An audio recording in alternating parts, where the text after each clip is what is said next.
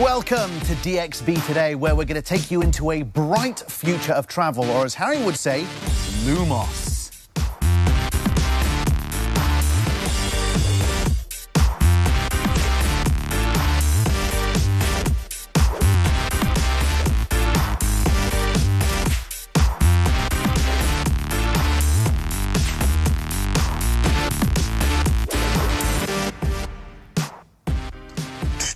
Welcome aboard DXB today. This is your fantastic three pilots. Tonight we are exploring the world of travel from the best destinations to tips and tricks for your next holiday. Whether you're a globetrotter, or prefer to travel locally, we have something for you as we'll be chatting with multiple experts from the travel industry. And for those of us who keep wishing we could travel for free, today might just be the day you finally crack that spell because today is also International Harry Potter Day. Are we fans? What's your favourite Hogwarts house? Sure, you jest. It is allegiance to House Slytherin and the Dark Lord. Was that an Alan Rickman impression? Uh, Okay, yes. yeah, Snake. done. I'm more like uh, Lannisters, Targaryens. I'm like a Game of Thrones girl. Sorry, guys, kid- I haven't done I haven't done the Harry Potter thing. It's not yet. very kid friendly. Do your children not I like know. it? I started reading one of the books, and I remember thinking this is fantastic, and then I don't know what happened. I just I don't know. I feel like it's too late to catch up on. It's now. never too it late so? to catch up Are they on. outdated? All the movies and the, the books are obviously not. Put the books are- aside. Watch the show. No, you can't do that. You got to read the whole thing first. All right, we'll debate about that on another episode. But for now, our guest co host, or should I say, co pilot for today, is an adventurer, speaker, and traveler. Let's find out who it is. Hello, I'm Raha Moharrak, and I'm today's guest co host. Can't wait to share this adventure with you. Raha, of course, is the youngest Arab and the first Saudi woman to climb Mount Everest. She'll be in studio in just a few minutes. But before we discuss the real world of travel, let's have a trip down to the wizarding world where Faris may have gotten a little bit excited.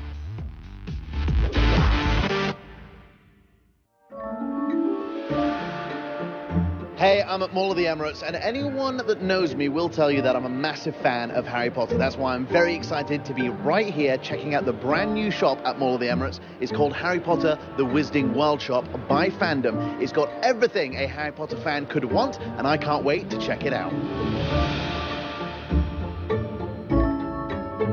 Of course, if you come here, one of the main things you can expect is merchandise. Whether you're a fan of Gryffindor, Slytherin, Hufflepuff, or Ravenclaw, there's merch for everybody. We're talking sweaters, we're talking winter hats, we're talking gloves, notebooks, water bottles, coloring books. There is so much here on offer. So no matter what age you are, no matter what you want, and no matter what your budget is, there is something here for you. And there's some amazing photo opportunities for fans right here in the store. Of course, we have the trolley going right through the wall at platform 9 and 3 quarters. Not only that, we've got a statue of Harry Potter himself that you can pose next to, but this is probably the most popular one, the sorting hat, where not only can you get a picture getting sorted into your house, the hat actually speaks and will sort you into a Hogwarts house. How cool is that? And one of the most exciting attractions in the store, of course, has to be the wand shop. Because after all, the wand chooses the wizard, Mr. Potter. And here fans can pick up wands from their favorite characters. They can pick the one they want, they can look at it beforehand. We have a few right there that you can check out. Each one very different and very detailed in its own way. Expelliarmus. Well, I never got my letter from Hogwarts, but thanks to Harry Potter The Wizarding World store by fandom, I've relived my childhood memories. So make sure you come on down and pick up some cool stuff like this.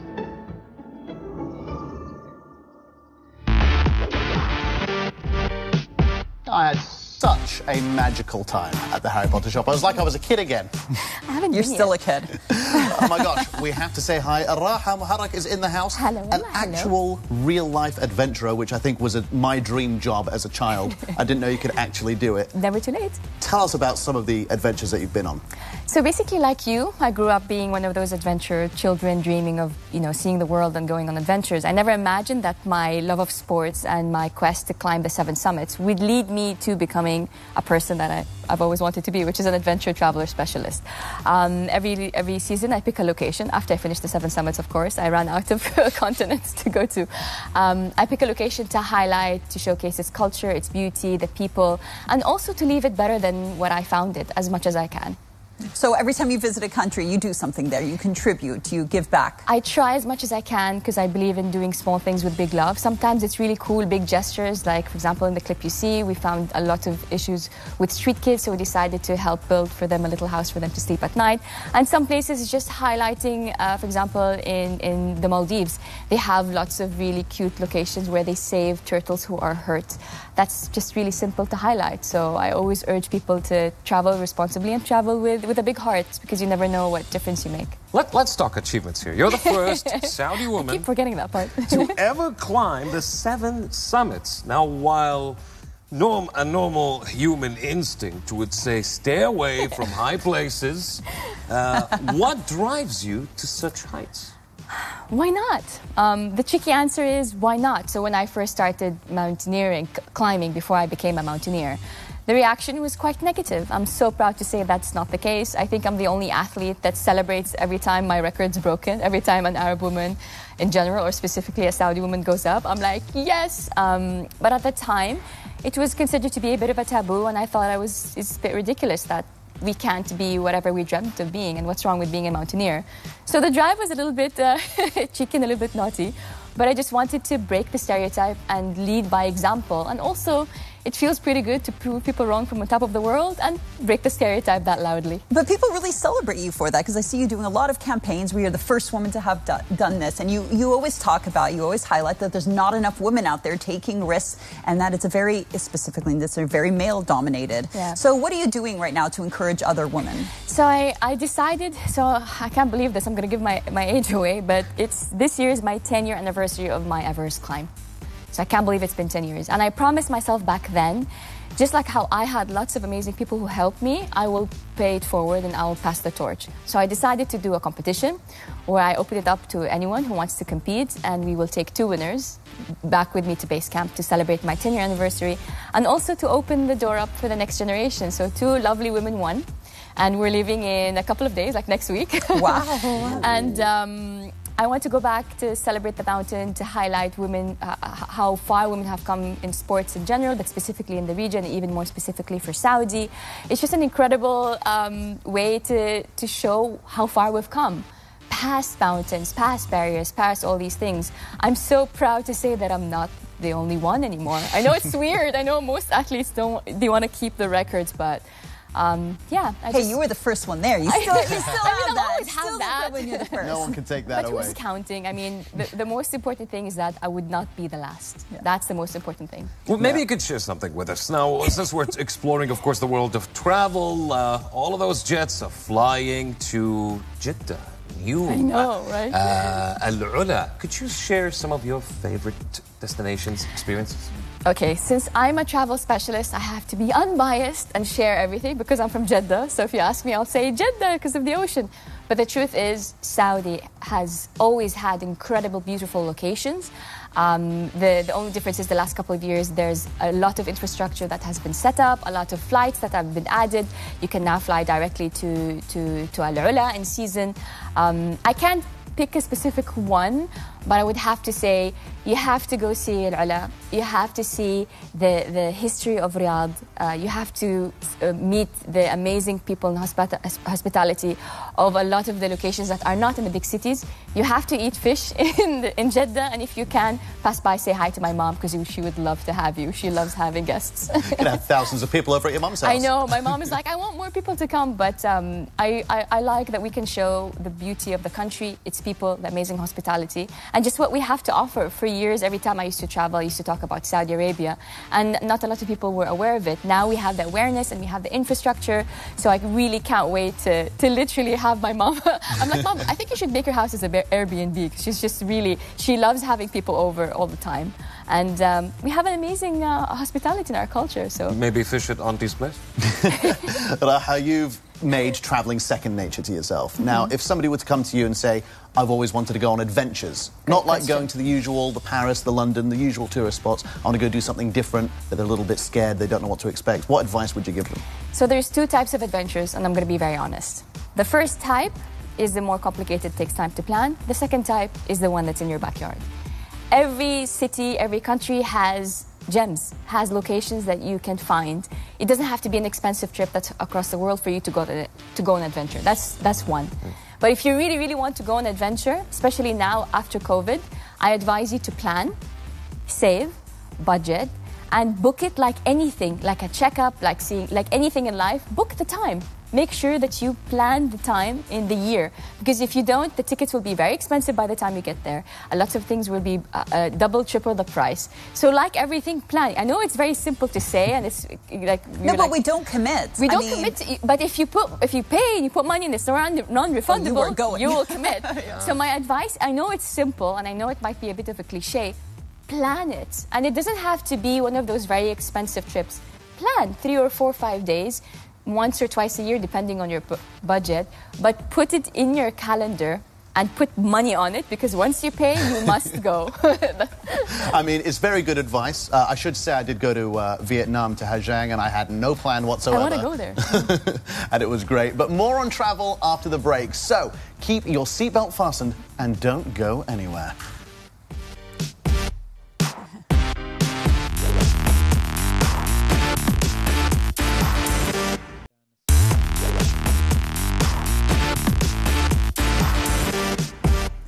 Hey, hey, hey, welcome back. Now, our get- next guest on the show knows all about the power of travel and how it changes lives.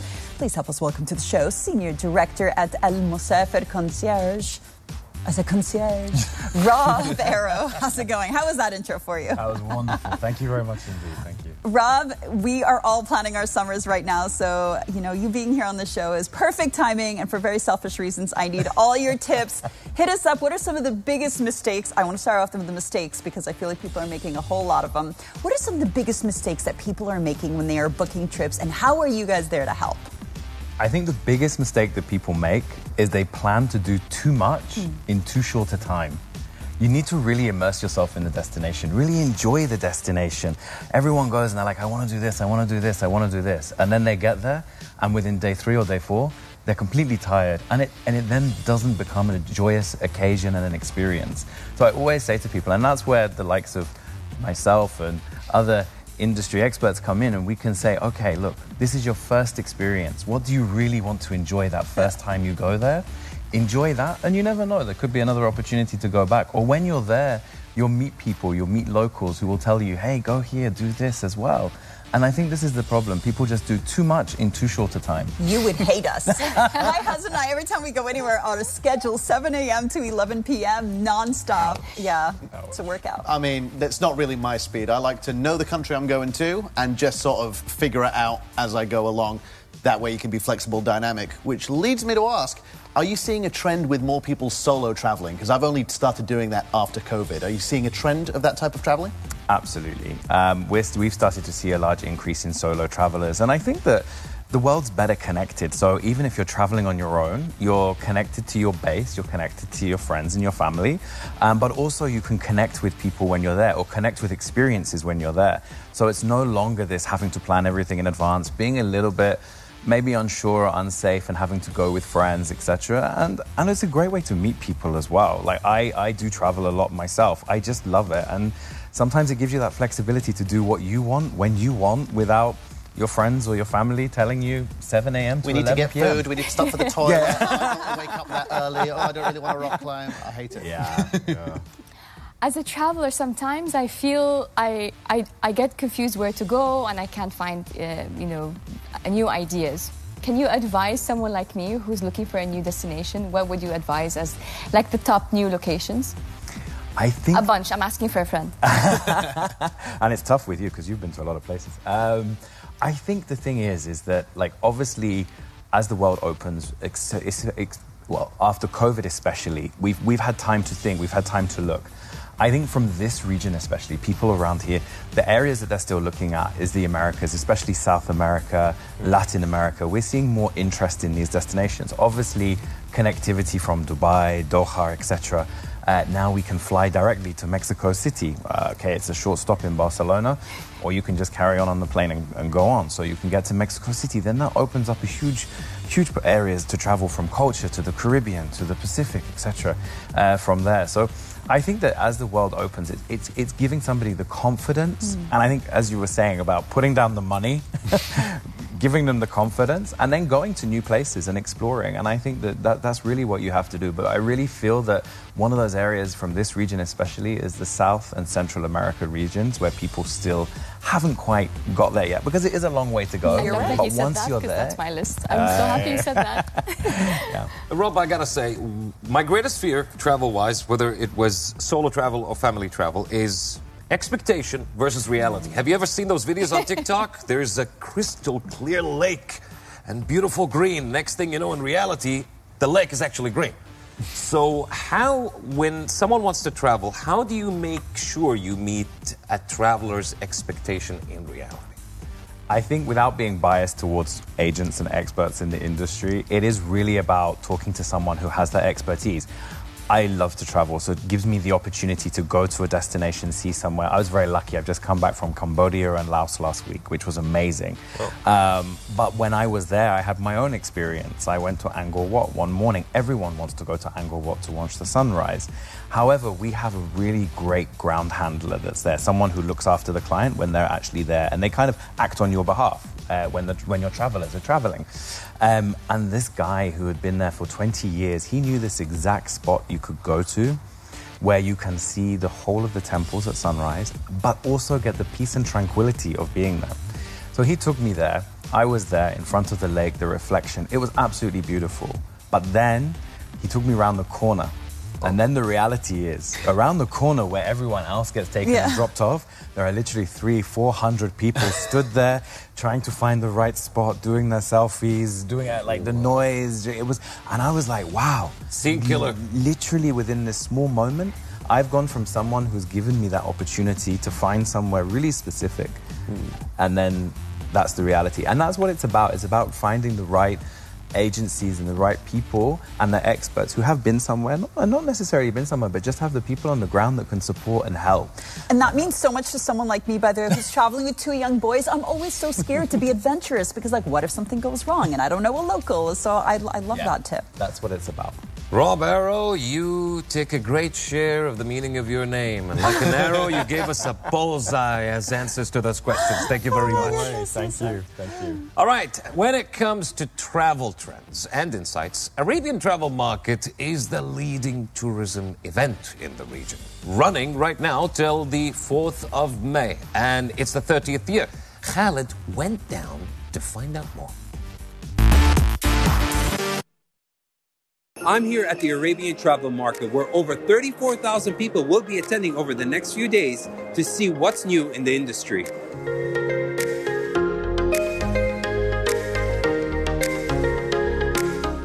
What can we expect this year from the ATM? Uh, thank you, Khaled. I mean, it's amazing. You can only hear the buzz in the background as we've uh, descended down at Dubai, Dubai World Trade Center. This year is our 30th year in operation, which is fantastic, a huge milestone for us. And as the leading global uh, uh event for the inbound and outbound travel industry in the Middle East, we're expecting, and you'll see a, a, huge array of exhibitors, destinations, and travel professionals coming down to connect, reconnect, and clearly um, make those all important business connections across the next four days. And uh, I was reading up, there's a lot of things, especially this year, that we're going to be tackling, especially with sustainability. Can you tell me a little bit more about that? The venue is uh, no single use plastic at all. Um, there's lots of initiatives with uh, recyclable, reuse, and of course sustainable materials across the lanyards, badges, etc.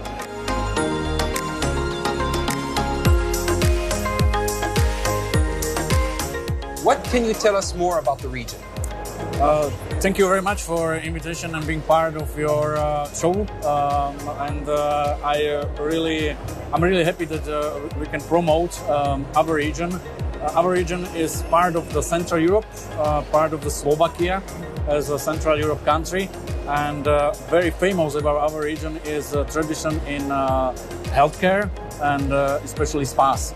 I heard there was something special, especially what you did recently, connecting the Gulf with your region.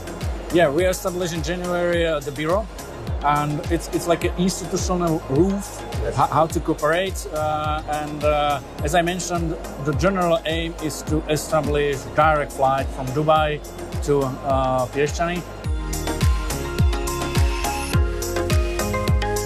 What can you tell us more when it comes for travelers, especially coming out of the region? Yeah, for sure. Um, Barbados has a lot to offer. And, and I say that because, not because it's true, I say that because of the wonderful feedback we get from customers who visit Barbados. Um, we have snorkeling, we have all the water based activities you can ever want. We have a number of land based um, tourist attractions that complements the visitor experience. We have a wonderful core of people on the island who are very hospitable and who lend to the vacation experience. And the one thing about Barbados is that regardless of who you are, you're allowed to vacation with privacy. You don't have any paparazzi chasing you, you don't care who you are. Well, I am very excited because you make me want to go back to Barbados. But it's a pleasure having you here with us. I hope you enjoyed the rest of the ATM and uh, thank you.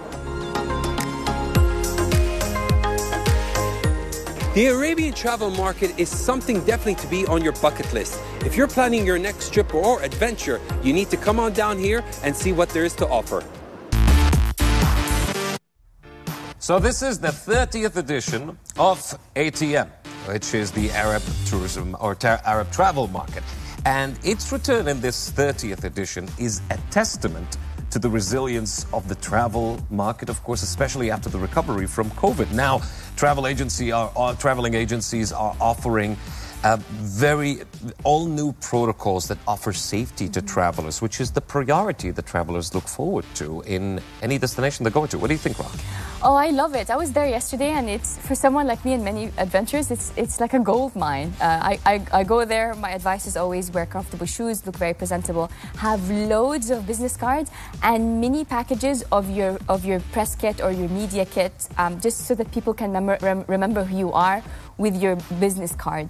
Hmm. Because after the end of the day, you'll get confused and Is you your remember face the on your business card? Hmm. No, so no, it's like a, I, I'm, I, I used that. to be a creative director, so I, it's like a little envelope that has a little profile and my business card inside, and I would give it to people. And through, out of the, the, the ATM, I got trips to Iceland, I got trips to, to Mongolia, I got some amazing trips.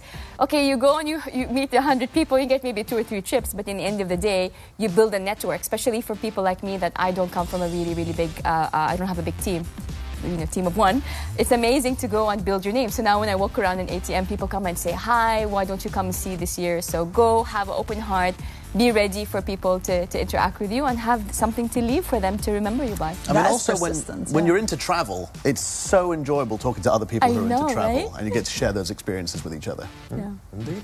Well, guess what, folks? It is time for the daily roundup, where we discuss the hottest topics. So, Dina, what do you have for us today?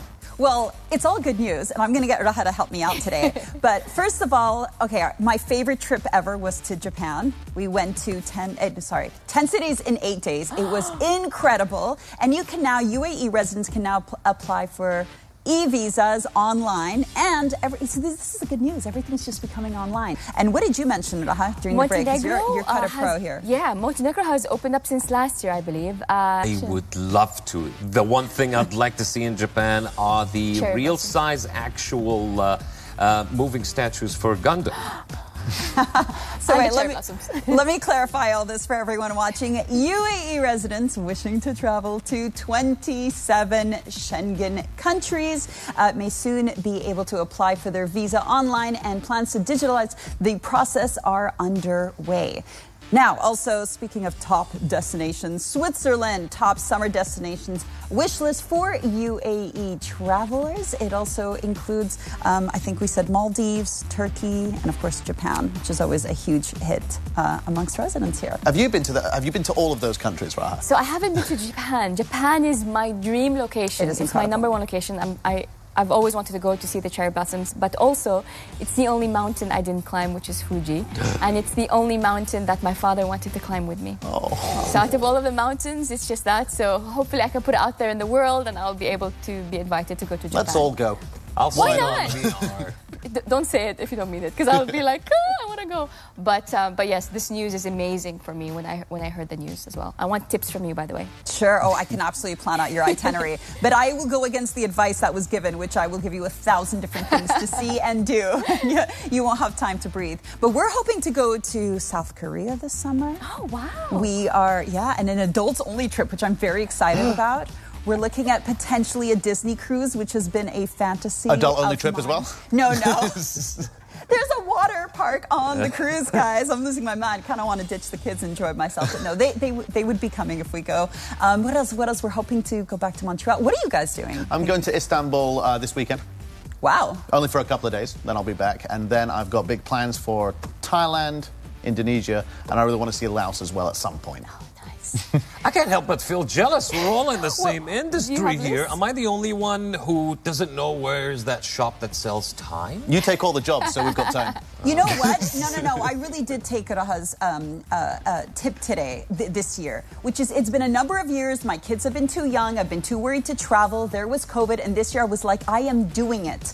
You know, my kids soon enough aren't going to want to travel with me. They're going to go off to university. Blah, blah, blah. So that, like, this is the time to do it. I want to visit as many countries as I can in the next few, and, and go on all those, you know, tick off all the, that wish list. How I'm many tra- have you been to? How many countries have I been to? Um, I think I it was 36. Go through all of them. No, I'm joking. I don't know. I haven't had a lot of opportunities to travel. I'm trying it now, but I think about You haven't 13. counted? Okay. 13. And yeah, sorry. No, but How no. Many? Oh, how many destinations that I've been to? Does home and work count? Goodness. I want to see if I win this one. I think I've been to 80 this year. oh, This year. No, I mean, I up, to now. I've, uh, whoa, whoa. See, I've my- reached 80 this year, which I'm very proud of. Can I show that off a little bit? I'm very proud. We're that proud of is you. unbelievable. Little bit jealous. My goal is to be, to see to, to go to as many visit as many countries as my age. So. I'm a little behind. Uh, okay, it's time for a quick break. But our next guest is going to talk about safaris, lodges, and adventures in wild Africa. Stay with us.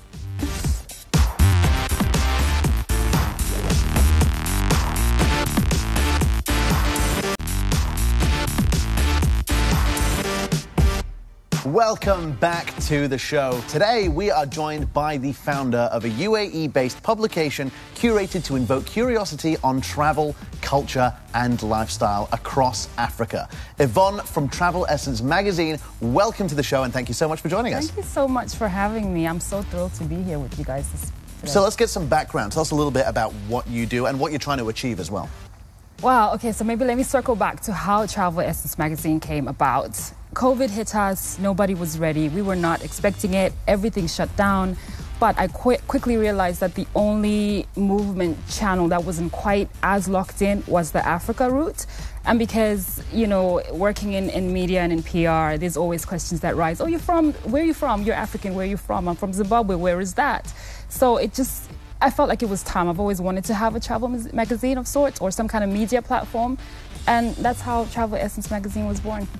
Amazing. Yeah. Well, I always feel like we don't know where to start. when it's Africa. There's so many countries I haven't Yeah. been to personally, and I never, you know, if I'm if I'm, uh, uh, you know, it's content, I want to start exploring. Yes. Where would you say we start? Gosh, and that's the thing, right? Africa is 54 whole countries, and where do you start? There's, you know, North Africa and there's Sub-Saharan Africa. What kind of experience are you looking for? So, if it's adventure, there's a couple destinations you can look look at. If it's you know, um, safaris, obviously you can transcend or traverse a whole cross section of Africa. But to answer your question, and as far as where, um, I will speak to the heavy hitters that I think are easy to get to from Dubai. Obviously, Kenya is one. East Africa, you're looking at your Kenya, you're looking at your Tanzania. Uh, Southern Africa, you're looking at your South Africa, your Zimbabwe, there's Emirates flights, you've got your KQs, Ethiopian Airways. There's so many ways that you can get to different destinations on direct flights out of DXB, which is really cool. And you do have those big hitters that everyone sort of knows and goes to and are famous for Yeah. certain things. But it was actually during Expo that I learned about some countries in Africa that I wouldn't have thought to go to, like Eswatini, Gabon. Right. Are there any other suggestions that people might not be on the top of someone's bucket list, but are definitely worth checking out? I would say Mozambique's beaches are untainted. They're are stunning, absolutely breathtaking. It's a direct flight from Dubai into Joburg, connect within an hour, and you can be there. Rwanda is another amazing destination, really pristine, really, really clean and organized. It's gorgeous, and you can of course go gorilla trekking, which is a must try for the trekking? yeah. You must. It's an absolute. it's an it's an absolute must. Um, Namibia, you've got a cross section of um, landscape. So you've got the ocean, but you also have the desert, but you also have the savannah. And of course, I'm biased because I, I am Zimbabwean. You have to go to Zimbabwe. Victoria Falls, one of the seven wonders of the world. Look, there's so many places to start. I can absolutely vouch for that. I, it's one of my favorite uh, continents and lo- locations to go to, not just because of the beauty, the diversity, and how every single country has its own, you know, feel and vibe, and they're very close to each other, so you Yeah. can do multiple at the same time. So that's one of the things that a lot of people don't realize is that you can truly, really travel, go go around, and and like what you mentioned during COVID, I actually got more more excited about Africa because it was one of the most easiest places to go to, and the people were just so nice and welcoming. Um, so absolutely, I can. I, my top is Zambia, Yes. Zimbabwe, uh, Botswana, um, Rwanda, Uganda, and then Kenya, Tanzania. Actually, Kolo. I can't. Just I wanna can't do the whole thing, I yeah. Um, but the best thing is is that every single time you go, you're just immersed in such a new, different feel and vibe, and the kindness of the people is just Absolutely. unbelievable. And it's a good point that you that you raised about being able to go to multiple destinations within a couple of days because you know with, with Zimbabwe and Zambia and Botswana for example, you can quite literally drive across them within two Two days. So if you plan your trip properly or accordingly, you can peg for eight days and do two in Botswana, which is a completely different experience, cross over into Zimbabwe, completely different experience, and then cross over into Zambia. So there's so many ways to get it done and you know, you just need to But just one to word of advice, real quick. If you cross borders, make sure that you have the right documents because sometimes the visa Yes. is not enough for you to cross a border that isn't the airport. I learned the hard way. Everyone's very nice, but you know, sitting in the border was for half a day was not easy. Not- so not make sure you ideal, have the right papers. Absolutely.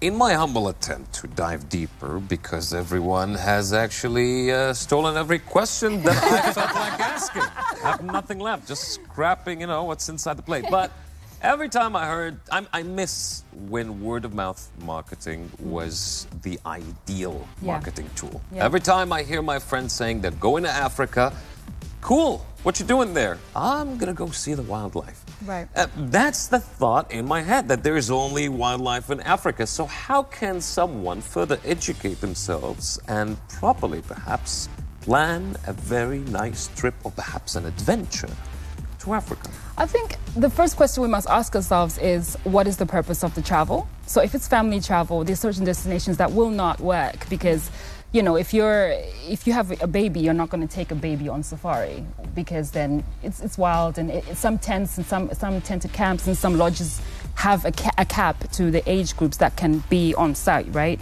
Um, if you're looking to do something more on the wellness side of things, you know, there are certain destinations that are better primed for wellness. Your coastal areas is a really a, a large cross section of, of boutique hotels and properties that are out there that cater to your to to the wellness traveler. So I think you should ask yourself the question what is it that I'm trying to achieve from my trip? If it's adventure and safari, great. But some destinations don't have a great safari opportunity. There are some that are better than others, or if there's a limitation to what you can do when you say safari, right? So I think let's let's start at what exactly are you hoping to achieve from your trip? Yvonne, I'm so excited to travel. That's all I want to do. I want to go to Africa. You've made me want to do Let's it. go. If we want to check out more about Travel Essence, is there a website, an Instagram handle that we can uh, check out? Yes, absolutely. TravelEssenceMag.com is our website. Um, exciting updates on there. Obviously, you can get in touch with me as well on quintessentially underscore Yvonne on Instagram. You can follow our journeys. And we do do some curated travel experiences for small groups. So we try to kind of, they get to cruise along with me and my friends and we, we make it fun. I'm saying it. I'm Let's feeling go. it. Let's all go. I would do. A, I would do a, a, a group trip. Like Let's I mean, all of us. We'll plan it after the show. DOT Can I today. suggest location? Because we were talking about it. Can I suggest Namibia?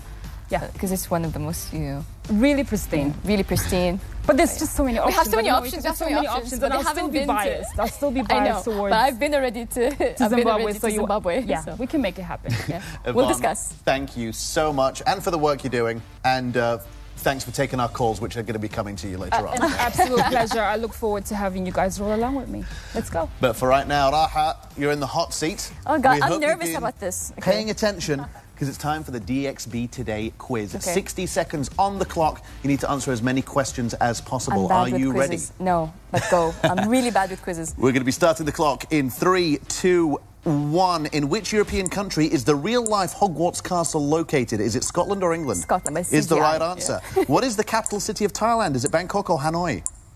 Hanoi. Is the wrong answer. Oh. What is the name of the train that takes Hogwarts students to school every year? The Hogwarts Express or the Night Bus? Hogwarts Express. Is the right answer.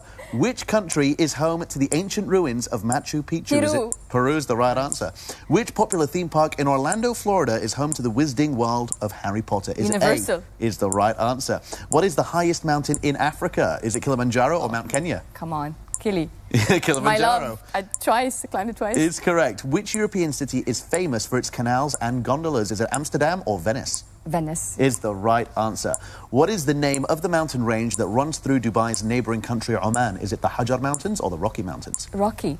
Is not the right answer. It's the Hajar Hajar Mountains. is Rocky, no? What is the name of the largest desert in the world? Is it A, the Sahara, or B, the Gobi? Gobi. Is not the right answer. Sahara is. What is the name of the I famous to go waterfall on the border of Brazil and Argentina? Is it A, Iguazu Falls, or B, Victoria Iguazu. Falls? Is the right answer, and that is the end of the quiz. I can't believe I missed those two. Those Seven were easy. points. They were easy. That's good. You I got have the same reaction to Rocky and the Rocky. translation It doesn't. No, you should give me half a point Uh, we can discuss it with the because it was producers. just translation. But you know, seven points, not bad at all. a Very, very respectable. Seven and a half point, points, apparently. go. Y- You're at number top for the week. I'm sad about the the, You're the starting capital. strong. You're starting strong, though. You got it. Yeah, I'm sure you can keep your uh, record to the end of the week. right over Ali Al Sayed. He's punching the air right now, I'm sure. Well, Raha, you must be a hammer because you nailed it. That is one. and two, to Yvonne and to Raha, thank you both very much. You've been the lights to the show. We appreciate you. Thank you so much for having me as well. My pleasure. Thanks for having me. Yeah. Don't go anywhere, ladies and gentlemen, because after the break, we'll be chilling with some tunes right here in the studio. So don't you dare go anywhere.